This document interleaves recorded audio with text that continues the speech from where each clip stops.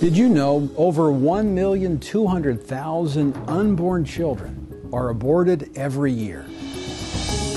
22 out of every 100 children conceived will have their life ended by abortion. More than one out of every five. In 2008, the total number of abortions since the Roe v. Wade Supreme Court decision in 1973 54 million.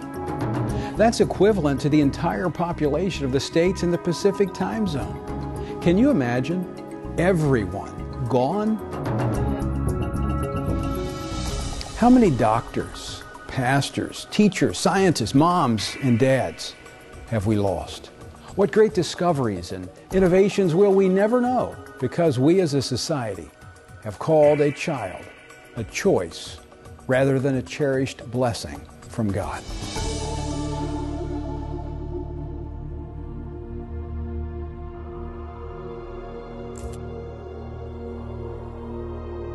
I'll never go to school. I'll never play sports. I'll never have a first kiss. I'll never be a father. I'll never get married. Abortion is a terrible thing.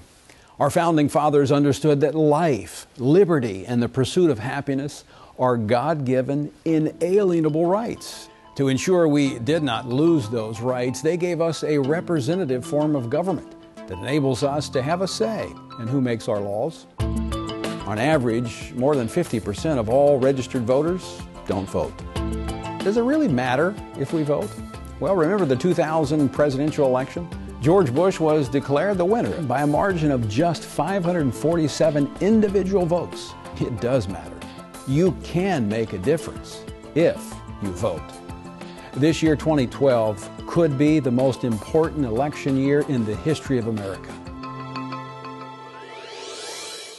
We must restore the right to life in America. But to do so, we must elect leaders who will enact laws that uphold biblical truth by protecting both the life of unborn children and the health of their mothers.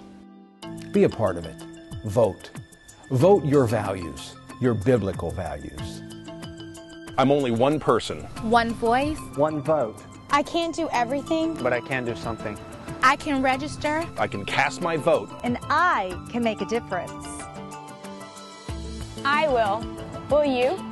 I will. Will you? I will. Will you? I will.